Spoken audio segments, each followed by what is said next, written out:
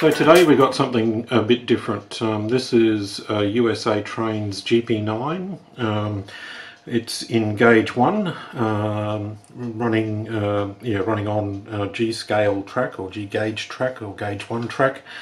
Um, and uh, yeah, this is uh, one of the biggest installs I've done for DCC. I've done quite a number of uh, battery conversions for um, uh, large scale, which you might see on my uh, YouTube channel. Uh, but this is the first DCC install, um, and um, yeah, it's come out quite good. I'm pretty happy with where we've got to. Uh, it was a lot more work than I expected. The way these GP9s are set up, um, they're actual the, the, USA Trains locos and many other uh, manufacturers locos. They're not really DCC ready. If anything, they're ready for other um, control methods like um, battery power and radio control or uh, air wire and and there are um, DCC um, uh, fittings that can go into them um, but this one was uh, one done uh, to install the Loksound XL. So the Loksound XL is actually a fairly small decoder. Um, it just sits in here. This is the um, screw terminal version that you can see here. So it's got two sets of screw terminals uh, at either end. Um, and uh, what I've done is gut uh, the existing electronics that were in there.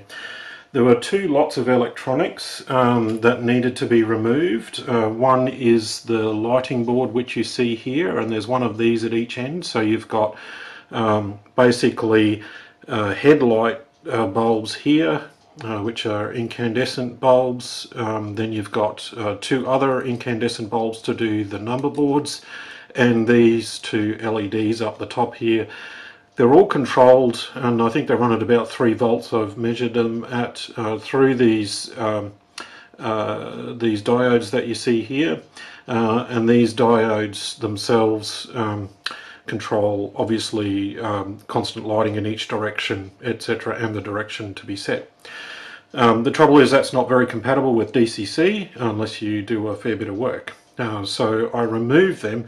The other thing is the current draw out of these incandescent bulbs is quite high. It's in the order of probably two to 300 milliamps per bulb. Uh, and so if you had all four of them, you're nearly drawing an amp, which is a fair whack. Now, the Loksound XL uh, decoders, if I, uh, I'll just uh, zoom in, uh, just hold it.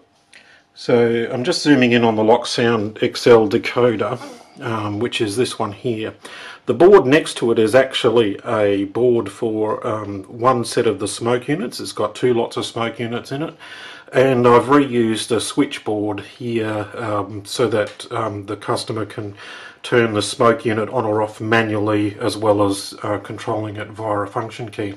The reason I do that is um, while these boards are designed to protect the filaments, um, it might be that uh, you forget to um, uh, turn off the smoke it runs dry, uh, you forget the function key, and you keep running it and you'll burn out the filaments. But if you just turn that switch off, everything's isolated uh, and you're ready to go. So um, that's why it's wired up that way.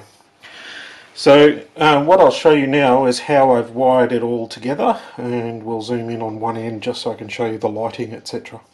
In order to do the lighting uh, on these locos, basically you if you want to control them independently, what you need to do is set up uh, LEDs, well I've used LEDs um, because I want to minimize the current draw and what I've got is LEDs for headlights, LEDs for number boards and LEDs for classification lights.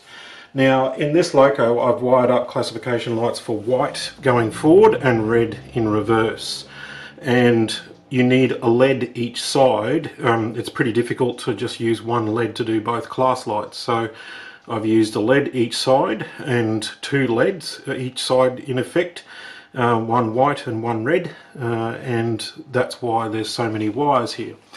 Each wire is actually uh, labelled, so here we've got um, the headlight rear, um, we've got um, another one which I think is uh, the class lights red, uh, and so on. And I've labelled all of those and used the same wire throughout just to keep it consistent and because I couldn't find enough different coloured uh, wires um, to keep in with the DCC code.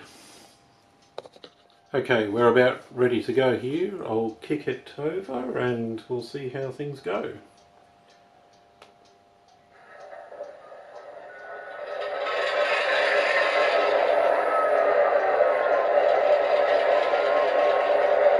Turn the lights on. Uh, number boards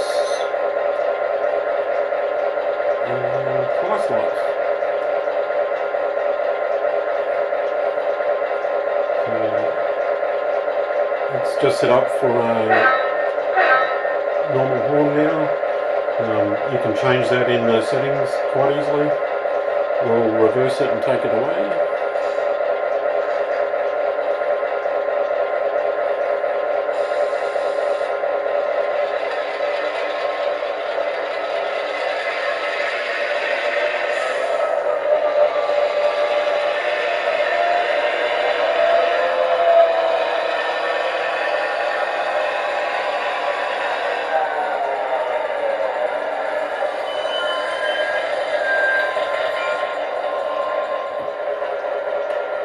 I'll just try it again. I've um, moved it up the other end of the track and I've turned the lights down a little bit, the video lights, so we can see the, the lighting a little bit better. So at the moment the headlight's on in the reverse direction. The class lights are showing red on the rear, but you can't really see them too well. They show up alright when you look at them directly, but the red LEDs are a bit dull. Anyway, we'll reverse it. Headlight comes on, class lights are on, number boards stay lit no matter which way, and away we go. Should probably put the bell on because we're in a shunt mode.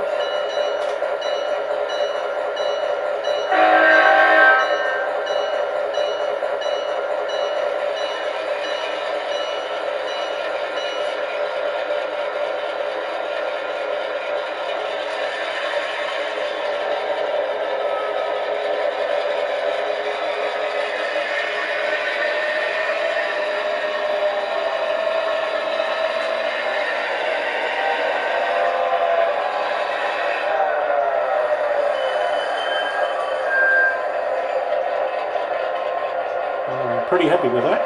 It's turned out really well. Hope you enjoyed watching this video. It's only going to be a fairly short one, uh, but I just wanted to show the variety of installs you can do in DCC and um, I think uh, I could be quite easily converted to running one of those, even though it's not Steam. So thanks for watching.